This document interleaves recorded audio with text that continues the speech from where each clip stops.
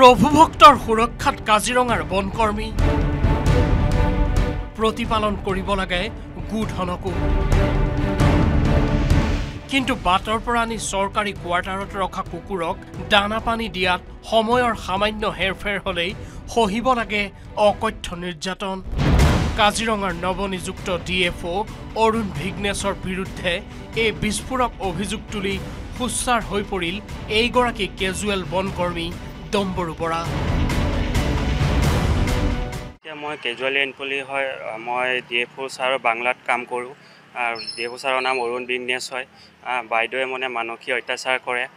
আপোনাৰ কুকুৰ আছে দুটা গৰু আছে দুটা কুকুৰক সময়মতে দানা খুৱাব লাগে নোখোৱালে আপোনাৰ গালি পাৰে টাইমে টাইমে ঘূৰাব লাগিব।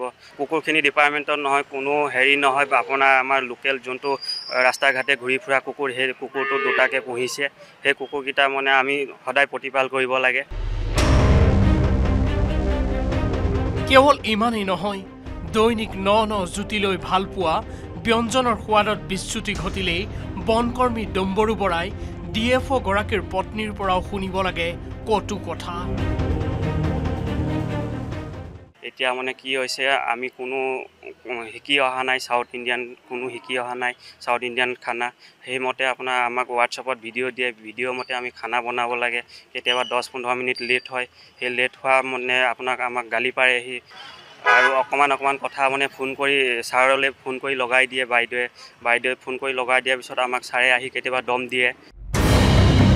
ডি এফৰ হুমকি আৰু পত্নীৰ নিৰ্যাতন সহিব নোৱাৰি অৱশেষত চাকৰি ত্যাগ কৰি কাজিৰঙাৰ কহৰাৰ নিজ ঘৰলৈ উভতি আহে ডম্বৰু বৰা।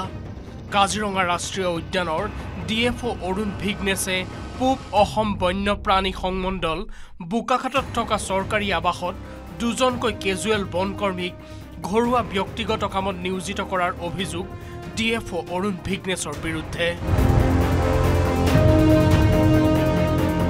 কাজিৰঙাৰ পৰা Bitupan Bora news eighteen Assam north east